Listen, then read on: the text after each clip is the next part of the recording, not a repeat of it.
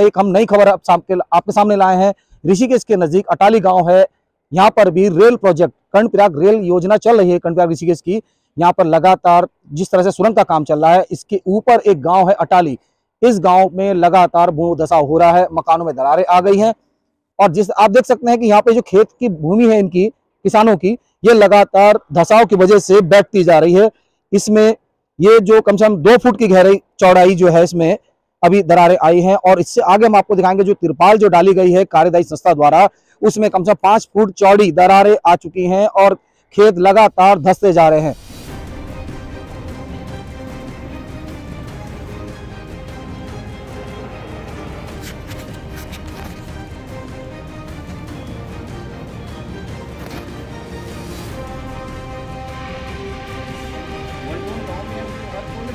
हमारे यहाँ जैसे कि आपको दिख रहा है सुरंग का काम चल रहा है जो रेलवे जो प्रोजेक्ट आया है उसके कर, उसके कारण यहाँ पर सुरंग की जा रही हैं। और उससे क्या हो रहा है कि हमारे घरों में दरारें पड़नी शुरू हो चुकी हैं। अभी तो सर काम जब मतलब हमारे घर में दरारें पड़नी शुरू हुई तब हमने देखा तो हमने इन मंत्रियों को बताया जो भी यहाँ के इन्होंने जो यहाँ के जो प्रोजेक्ट कार्यकर्ता हैं उनको हमने अपनी समस्याओं के बारे में बताया। तो दो हफ़्ते पहले यहाँ पर सभी बड़े बड़े मतलब अधिकारी आए थे, उन्होंने हमारी समस्याओं पर विचार रखा कि हम आगे देखेंगे आपकी समस्याओं पे हम क्या कर सकते हैं। अब ऐसा है कि सर, घरों पे तो दरारें पड़ी रही हैं, साथ में जो हमारे खेत खलियान हैं, उन पर भी दरारें पड़नी शुरू हो चुकी हैं, जो दिन प्रतिदिन बढ़ती ही जा रही हैं। सर, हम तो सरकार से यही कहना चाहते हैं कि अगर आपको लगता है कि हमारा जो ये क्षेत्र है, खतरे के मतलब निशान तक है, खतरे के क्षेत्र में है डेंजर जोन में है तो हमें कहीं और स्थापित करने का सोचें। हम कब तक ये सोचेंगे कि हम जान माल का नुकसान का वेट करें हम?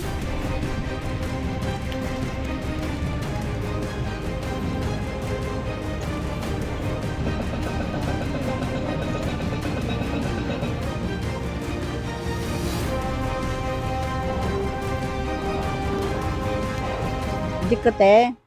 जब रेल आई यहाँ, तथा वो नमक दिक्कत है। मकान में दरार पड़े रहे कहीं खेत में दरार है। अब समस्या क्या है? समस्या तो अब बहुत कुछ है। ये अटाली गाँव है, इसमें अधिकांश गरीब किसान यहाँ पे रहते हैं और इसके बावजूद भी ग्रामीणों की समस्या को सुनने वाला कोई नहीं है। लगातार सरकार से ये गुहार लगा रहे हैं कि गाँव को या तो विस्थापन किया जाए या फिर इनकी जो भूमि का जो नुकसान हो रहा है, उसकी भरपाई की जाए। अटाली गाँव से नवार टाइम्स के लिए रजनीश कुमार।